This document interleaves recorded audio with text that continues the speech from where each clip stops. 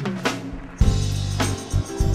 hope your hearts are filled tonight with the good news of Jesus Christ. Come on and put your hands together as we get ready to go from this place and go and tell somebody. Hey, hey,